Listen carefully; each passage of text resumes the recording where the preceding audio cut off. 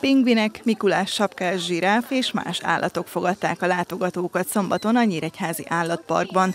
Programokkal teli, nagy Mikulás kalandra várták a kicsiket és a nagyobbakat, már második alkalommal. Nagyon izgatottan vártuk ezt a napot, több hétig készültünk rá, rengeteg programmal és rengeteg érdekességgel készültünk a látogatók számára, úgyhogy reméljük, hogy mindenki jól fogja magát érezni a mai nap. A bejárat mellett naponta többször is különleges buboréksót élvezhettek a gyerekek egy másik télanyó jó voltából. Az igazán nagy duranáshoz sem kellett messzire menni, az óceánáriumba kalauzolt el minket a hóember bőrbe bújt sajtó szóvívő. Itt a figyelmes látogatók hamar kiszúrhatták a Mikulás ruhát a homoki tigris cápa medencéjénél. Ahhoz azonban, hogy a Mikulás megmutassa teljes valóját, a gyerekeknek komoly feladatot kellett teljesíteniük. Akkor énekeljetek neki! Télapó itt van,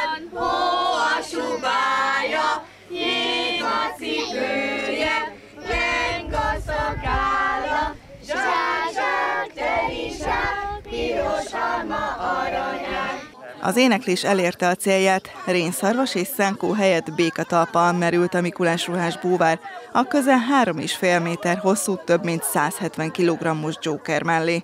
A termetes tigris cápa azonban nem riasztotta meg a Mikulást, vidáman integetett mindenkinek, a lelkes gyerekekkel pacsizott is, amiről persze sorra készültek a fotók és videók. Bátor volt a Mikulás és a Krampusz? Igen. Te bemernél menni? Nem. A Bóver Mikulás mellett szárazföldi télapó is várta a gyerekeket a Viktória házban. Szervusz, na hogy hívnak? Izabella. Ú, de szép neved van, Izabella. Hanyadikos vagy te az iskolán? Másodikos. És szeretsz tanulni? Igen. És jól is tanulsz? Igen. Akkor büszkék rád a szüleid, ugye? Igen. Jaj, hát egy minta gyerek vagy, ez minden szülő álma. Izabella sminkes asztalt kért a Mikulástól, és rajta keresztül a Jézuskától is.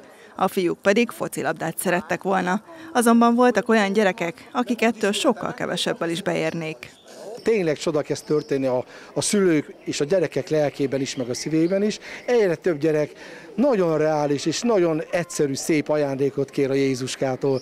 Tényleg csak három vagy nem tudom hány példát mondhatok. Volt olyan gyerek, aki napocskát kért és szivárványt, semmi mást. Ennyit kért. Kétszer megkérdeztem, hogy ő neki ennyi kell. Ő úgy szeretne szivárványt látni, és a napocskától süssön. Már évszázadok óta kíséri figyelemmel a Mikulás a gyerekeket, és nem szokott megfeledkezni a Nyíregyházi Állatpark lakóiról sem.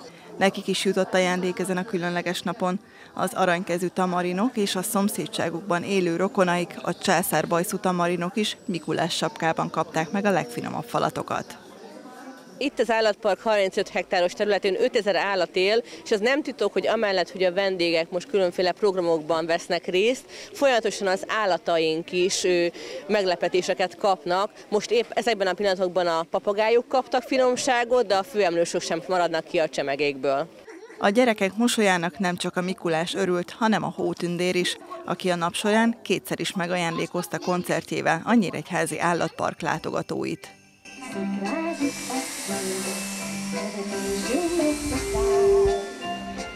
a kis csikó a szállal meg sem áll, Drága lélekünk, akár a